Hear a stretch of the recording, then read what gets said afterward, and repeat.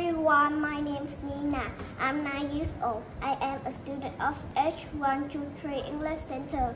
Today I will speaking English story name Fred's always dirty.